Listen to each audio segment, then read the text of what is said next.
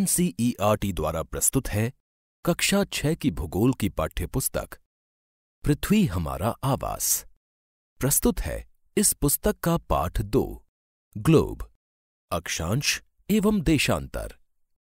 पिछले अध्याय में आप पढ़ चुके हैं कि हमारी पृथ्वी गोलाकार नहीं है। यह उत्तर एवं दक्षिण ध्रुवों पर थोड़ी चपटी तथा मध्य में थोड़ी उभरी हुई है। क्या आप कल्पना कर सकते हैं कि यह कैसी दिखती है? इस संबंध में जानकारी प्राप्त करने के लिए आप अपनी कक्षा में सावधानीपूर्वक ग्लोब को देखिए। ग्लोब पृथ्वी का लघु रूप में एक वास्तविक प्रतिरूप है। यहाँ चित्र में ग्लोब की तीन छवियों को दिखाया गया है, जिसमें अक्षांश एवं देशांतर रेखाओं को दर्शाया गया है, साथ ही तीसरे चित्र में पृथ्वी के अक्ष को दिखाया गया है। ग्लोब विभिन्न आकार एवं प्रकार के हो सकते हैं। बड़े ग्लोब, जो आसानी से एक स्थान से दूसरे स्थान नहीं ले जाए जा सकते। पॉकेट में रखने योग्य छोटे ग्लोब, तथा गुब्बारे जैसे ग्लोब, जिनमें हवा भरी जा सकती है, एवं आसानी से एक स्थान से दूसरे स्थान ले जाए जा सकते हैं। ग्लोब स्थिर नहीं होते हैं, इसे उसी प्रकार घुमाया जा सकता है जैसे कुम्हार का पहिया या लट्टू घूमता है। ग्लोब पर देशों, महाद्वीपों तथा महासागरों को उनके सही आकार में दिखाया जाता है। पृथ्वी के समान किसी गोले पर, किसी बिंदु की स्थिति का वर्णन करना कठिन है।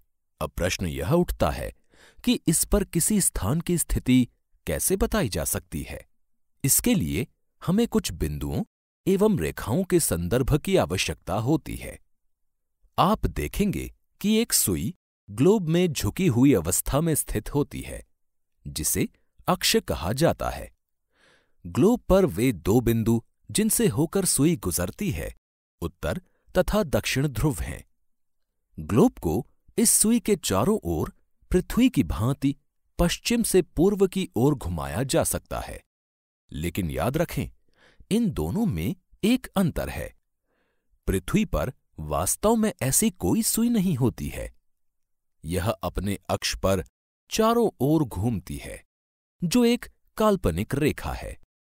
एक अन्य काल्पनिक रेखा भी ग्लोब को दो बराबर भागों में बांटती है। इसे विश्वत वृत्त कहा जाता है। पृथ्वी के उत्तर में स्थित आधे भाग को उत्तरी गोलार्ध तथा दक्षिण वाले आधे भाग को दक्षिणी गोलार्ध कहा जाता है। ये दोनों बराबर के आधे भाग होते हैं। इस प्रकार विश्वत वृत्त पृथ्वी पर एक काल्पनिक वृत्त बनाती है, एवं यह पृथ्वी पर विभिन्न स्थानों की स्थिति बताने का सबसे महत्वपूर्ण संदर्भ बिंदु है। विश्वत वृत्त से ध्रुवों तक स्थित सभी समानांतर वृत्तों को अक्षांश या समानांतर रेखाएँ कहा जाता है। अक्षांशों को अंश में मापा जाता है। विश्वत वृत्त शून्य अंश अक्षांश को दर्शाती है। चूँकि विश्वत वृत्त से दोनों तरफ़ ध्रुवों के बीच की दूरी पृथ्वी के चारों ओर के वृत्त का एक चौथाई है, अतः इसका माप होगा 360 अंश का एक बटा चार, यानी नब्बे अंश। इस प्रकार नब्बे अंश उत्तरी अक्षांश उत्तर ध्रुव को दर्शाता है, तथा नब्बे अंश दक्षिणी अक्षांश दक्षिणी ध्रुव को। इस पृष्ठ पर चित्र दो दशमलव दो दिया गया है, जिसमें पृथ्वी के अक्षांशों के विषय में दिखाया गया है। इस चित्र पर विश्वत वृत्त को दर्शाया गया है। साथ ही विश्वत वृत्त से उत्तर की ओर उत्तर ध्रुव तक समानांतर रेखाओं को भी दर्शाया गया है। साथ ही विश्वत वृत्त से दक्षिण की ओर स्थित समानांतर रेखाओं को भी दर्शाया गया है। इस प्रकार विश्वत वृत्त के उत्तर की सभी समानांतर रेखाओं को उत्तरी अक्षांश कहा जाता है, तथा विश्वत वृत्त के दक्षिण स्थित सभी समानांतर रेखाओं को दक्षिणी अक्षांश कहा जाता है। इसलिए प्रत्येक अक्षांश के मान के साथ उसकी दिशा यानी उत्तर या दक्षिण को भी लिखा जाता है। सामान्यतः इसे उ या द अक्षर से व्यक्त किया जाता है। उदाहरण के लिए महाराष्ट्र में चंद्रपुर एवं ब्राज़ील दक्षिण अमेरिका में बेलो होरिजोंटे दोनों एक ही अक्षांश 20 अंश पर स्थित हैं, लेकिन चंद्रपुर विश्वत वृत्त के 20 अंश उत्तर में एवं बेलो होरिजोंटे विश्वत वृत्त के 20 अंश दक्षिण में स्थित है। इसलिए हम कहते हैं चंद्रपुर 20 डिग्री उत्तर अक्षांश पर तथा बेलो होरिजोंटे 20 डिग्री दक्षिण अक्षांश पर स्थित है।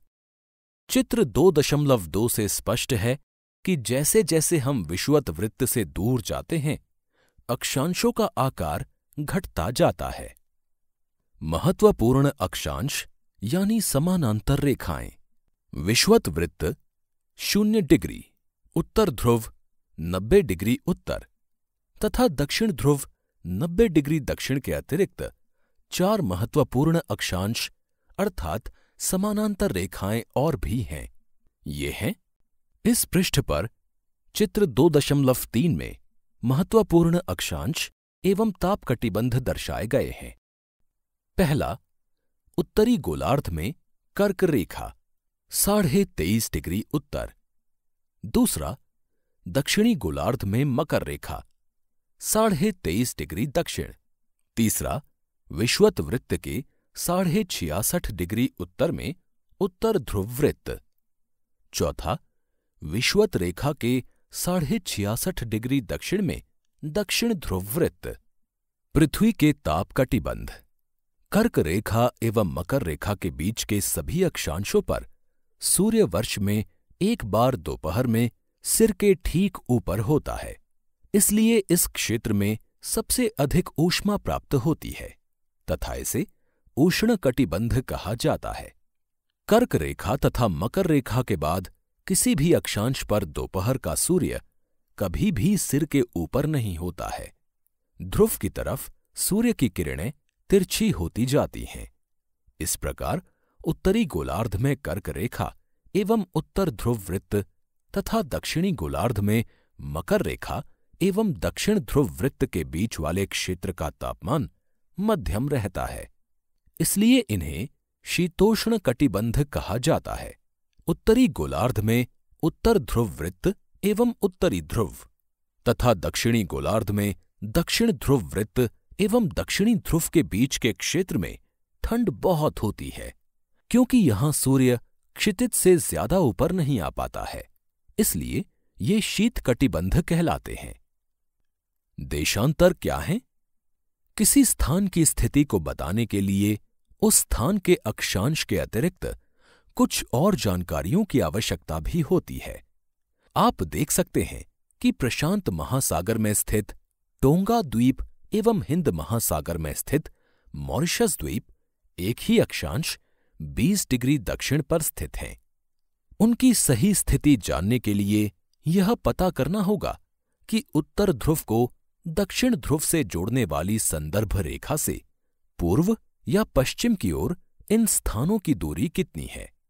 इन संदर्भ रेखाओं को देशांतरीय याम्योत्तर कहते हैं तथा उनके बीच की दूरी को देशांतर के अंशों में मापा जाता है।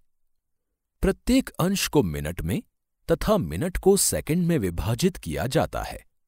ये अर्धवृत्त हैं तथा उनके बीच की दूरी ध्रुवों की तरफ़ बढ़ने पर घटती जाती है, एवं ध्रुवों पर शून्य हो जाती है, जहाँ सभी देशांतरीय याम्योत्तर आपस में मिलती हैं। अक्षांश या समानांतर रेखाओं से भिन्न सभी देशांतरीय याम्योत्तरों की लंबाई समान होती है, इसलिए इन्हें सिर्फ़ मुख्य संख्याओं में व्यक्त करना कठिन था। तब सभी देशों ने निश्चय किया कि ग्रीनिच जहाँ ब्रिटिश राजकीय वेधशाला स्थित है, से गुजरने वाली यामयोत्तर से पूर्व और पश्चिम की ओर गिनती शुरू की जाए। इस यामयोत्तर को प्रमुख यामयोत्तर कहते हैं। इसका मान शून्य डिग्री देशांतर है, तथा यहाँ से हम 180 डिग्री पूर्व या 180 डिग्री पश्चिम तक गणना करते हैं। प्रमुख यामयोत्तर तथा 180 डिग्री यामयोत्तर मिलकर पृथ्वी को दो समान भागों, पूर्वी गोलार्ध एवं पश्चिमी गोलार्ध में विभक्त करती हैं। इसलिए किसी स्थान के देशांतर के आगे पूर्व के लिए अक्षर पू तथा पश्चिम के लिए अक्षर प का उपयोग करते हैं। यह जानना रोचक होगा कि 180 डिग्री पूर्व और 180 डिग्री पश्चिम याम्योत्तर एक ही रेखा पर स्थित हैं। अब ग्लोब पर अक्षांश यानी समानांतर रेखाओं एवं देशांतरीय याम्योत्तरों के द्वारा बनी ग्रिड को देखो। इस पृष्ठ पर चित्र दो दशमलव छह में ग्लोब पर ऐसी ही ग्रिड को दर्शाया गया है। अगर आपको किसी स्थान के अक्षांश एवं देशांतर की सही जानकारी हो तो ग्लोब पर आप उस स्थान का पता आसानी से लगा सकते हैं। उदाहरण के लिए, असम में धुबरी 26 डिग्री उत्तर अक्षांश एवं 90 डिग्री पूर्व देशांतर पर स्थित है। अब उस बिंदु को देखें जहाँ ये दोनों रेखाएँ एक दूसरे को काटती हैं। यह बिंदु धुबरी की सही स्थिति होगा। इसको समझने के लिए कागज़ पर समान दूरी वाली क्षैतिज तथा ऊर्ध्वाधर रेखाएँ खींचिए। जैसा कि अगले पृष्ठ पर मौजूद चित्र दो दशमलव सात में दर्शाया गया है। ऊर्ध्वाधर रेखाओं को संख्या एक, दो, तीन, चार से तथा क्षैतिज रेखाओं को क, ख, ग, घ, ङ अक्षरों से व्यक्त करें। जिन बिंदुओं पर ये ऊर्ध्वाधर एवं क्षैतिज रेखाएँ एक दूसरे को काटती हैं, वहाँ कुछ छोटे वृत्त खींचिए। इन छोटे वृत्तों को अ, ब, स, द तथा ध नामों से व्यक्त कीजिए। मान लीजिए कि ऊर्ध्वाधर रेखाएँ पूर्व देशांतरों एवं क्षैतिज रेखाएँ उत्तरी अक्षांशों को व्यक्त करती हैं। अब आप देखेंगे कि वृत्त अ, ख डिग्री उत्तरी अक्षांश तथा एक डिग्री पूर्वी देशांतर पर स्थित है। अन्य वृत्तों की स्थिति ज्ञात करें। देशांतर और समय। समय को मापने का सबसे अच्छा साधन पृथ्वी, चंद्रमा एवं ग्रहों की गति है। सूर्योदय एवं सूर्यास्त प्रतिदिन होता है। अतः स्वाभाविक ही है कि यह पूरे विश्व में समय निर्धारण का सबसे अच्छा साधन है। स्थानीय समय का अनुमान सूर्य के द्वारा बनने वाली परछाई से लगाया जा सकता है, जो दोपहर में सबसे छोटी एवं सूर्योदय तथा सूर्यास्त के समय सबसे लंबी होती है। ग्रीनिच पर स्थित प्रमुख याम्योत्तर पर सूर्य जिस समय आकाश के सबसे ऊँचे बिंदु पर होगा उस समय यामयोत्तर पर स्थित सभी स्थानों पर दोपहर होगी। चूँकि पृथ्वी पश्चिम से पूर्व की ओर चक्कर लगाती है, अतः वे स्थान जो ग्रीनिच के पूर्व में हैं, उनका समय ग्रीनिच समय से आगे होगा, तथा जो पश्चिम में हैं, उनका समय पीछे होगा। यहाँ पुनः चित्र दो दशमलव आठ को आप देख सकते हैं। समय के अंतर की दर की गणना निम्नलिखित विधि से की जा सकती है। पृथ्वी लगभग 24 घंटे में अपने अक्ष पर 360 डिग्री घूम जाती है, अर्थात वह एक घंटे में 15 डिग्री एवं चार मिनट में एक डिग्री घूमती है। इस प्रकार जब ग्रीनिच में दोपहर के 12 बजते हैं, तब ग्रीनिच से 15 डिग्री पूर्व में समय होगा 15 गुणा चार बराबर 60 मिनट, अर्थात ग्रीनिच के समय से एक घंटा आगे।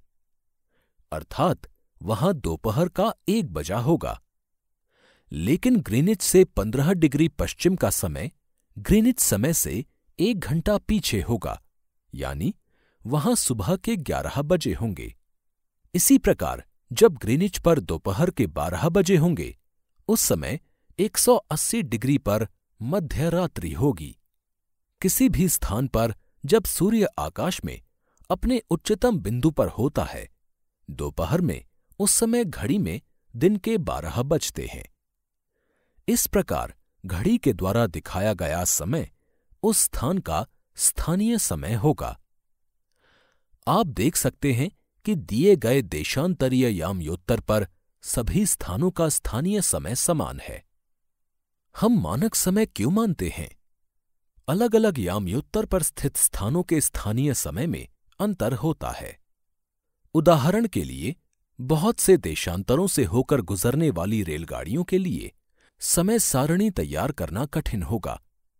भारत में गुजरात के द्वारका तथा असम के डिब्रूगढ़ के स्थानीय समय में लगभग एक घंटा पैंतालीस मिनट का अंतर होगा।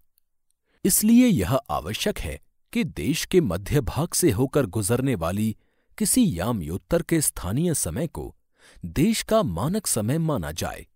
इस याम्योत्तर रेखा के स्थानीय समय को पूरे देश का मानक समय माना जाता है। भारत में साढ़े बयासी डिग्री पूर्व, अर्थात बयासी डिग्री तीस मिनट पूर्व को मानक याम्योत्तर माना गया है। इस याम्योत्तर के स्थानीय समय को पूरे देश का मानक समय माना जाता है। इसे भारतीय मानक समय के नाम से जाना जाता है। इस पृष्ठ पर चित्र दो दशमलव नौ में भारत के मानचित्र पर भारत का मानक यामयोत्तर दर्शाया गया है।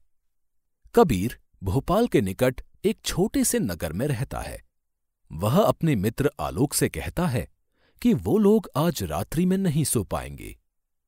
भारत एवं इंग्लैंड के बीच एक क्रिकेट मैच लंदन में दो बजे अपराह्न में शुरू होगा, अर्थात भारत के समयानुसार मैच शाम के साढ़े सात बजे शुरू होगा तथा देर रात्रि में समाप्त होगा। क्या आप जानते हैं कि भारत एवं इंग्लैंड के बीच समय में क्या अंतर है? भारत ग्रीनिच के पूर्व बयासी डिग्री तीस मिनट पूर्व में स्थित है तथा यहाँ का समय ग्रीनिच समय से पाँच घंटा तीस मिनट आगे है। इसलिए जब लंदन में दोपहर के दो बजे होंगे, तब भारत में शाम के साढ़े सात बजे होंगे। कुछ देशों का देशांतरीय विस्तार अधिक होता है, जिसके कारण वहाँ एक से अधिक मानक समय अपनाए गए हैं। उदाहरण के लिए, रूस में ग्यारह मानक समयों को अपनाया गया है। पृथ्वी को एक एक घंटे वाले 24 समय क्षेत्रों में बांटा गया है। इस प्रकार प्रत्येक समय क्षेत्र 15 डिग्री देशांतर तक के क्षेत्र को घेरता है।